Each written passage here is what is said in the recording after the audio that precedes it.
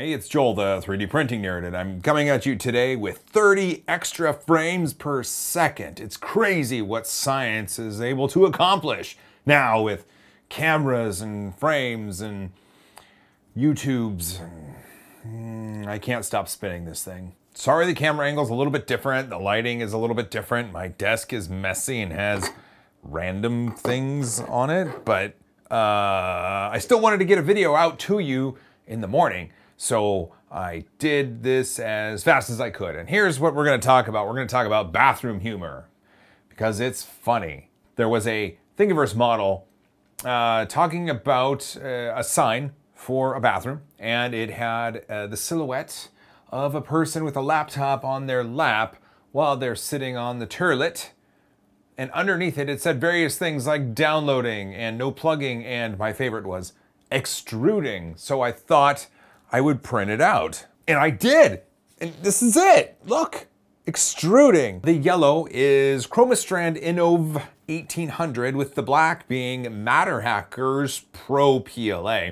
This was printed on my BCN 3D Sigma R17 with the Chromastrand in the left nozzle and the black PLA on the right nozzle. Two, two things. One, Chromastrand Innov 1800 just for some reason doesn't like me and I can't get it to print right. So if you print with Chromastrand Innov 1800 not on the Lulzbot, tell me what your settings are because I would love to hear them.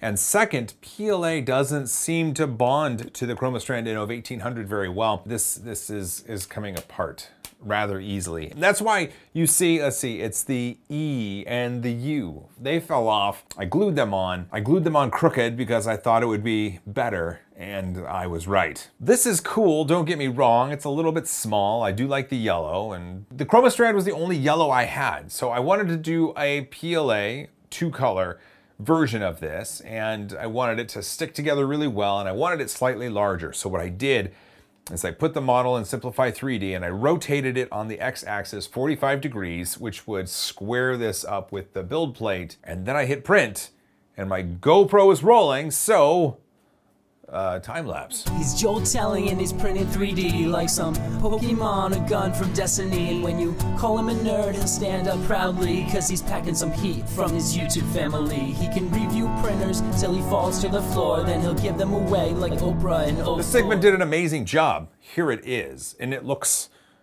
it looks good. The, the top layers are fantastic on this. This is, this is good enough to put in the bathroom, I think. We're just renovating one of our bathrooms right now with a fresh coat of paint. My wife paints like crazy good, and maybe maybe this will go in the bathroom. I don't know. Um, maybe? Hey, look, I was right. There it is. It's perfect. It will fit the bathroom just great. I think you should print this out. There's four different models that have the silhouette on it. In fact, there's a ton of different cool bathroomy things you can 3D print. In fact, design your own. Why not? Uh, let's call it good right there. Um, you know what? Thanks, you guys. I love you lots. I gotta get going because it's late. But anyways, high five.